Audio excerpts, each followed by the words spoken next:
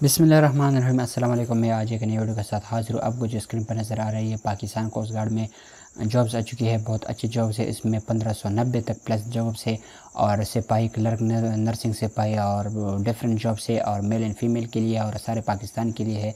तो इसके बारे में, इस वीडियो में आपको कंप्लीट इन्फॉर्मेशन दूँगा। तो इससे पहले अगर मेरे चैनल पर आप नए तो सबसे पहले मेरे चैनल को सब्सक्राइब कीजिए। बिल के आइकन पर लाजमी क्लिक कीजिए ताकि इस तरह की नई नई अपडेट आपको बला तैयार पहुँचे बर वक्त अप्लाई करते रहे। आप डायरेक्ट गूगल पे आएँगे गूगल पे आप लिखेंगे fine new park job twenty four enter करेंगे एंटर करने के बाद आपके सामने इस तरह का मेन्यू ओपन होगा। ये पहले नंबर पर आप देख रहे इस पर आप क्लिक करेंगे।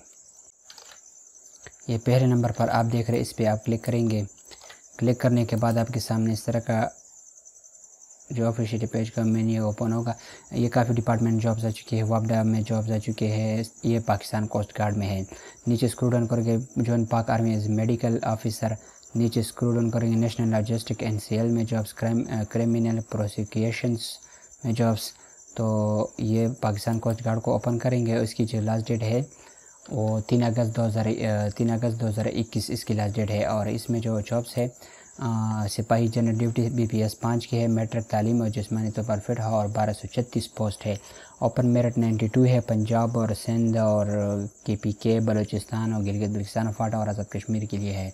बे नंबर सिपाही क्लर्क जो है, वो भी चौबीस सीट है। इस तरह सिपाही एम टी अठहत्तर पोस्ट है। सिपाही नर्सिंग की थर्टी एट इस तरह सिपाही को की फोर्टी सिक्स तो काफ़ी जॉब से और इसका जो अप्लाई करने का जो तरीका है, ये नीचे एड्रेस दिया हुआ है, इस एड्रेस पे आप सेंड करेंगे।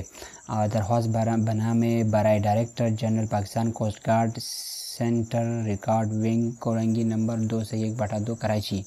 और इस एड्रेस में आपको सेंड करना होगा और तीन तारीख, तीन अगस्त 2021 से पहले पहले आपको सिंपल दरख्वास्त अपने डॉक्यूमेंट्स के साथ सेंड करना होगा। तो यही मालूम है तो इन दोबारा इस तरह जॉब के के साथ दोबारा मिलूँगा। तो मैं इस वक्त आपसे इजाज़त चाहता हूँ। अल्लाह हाफ़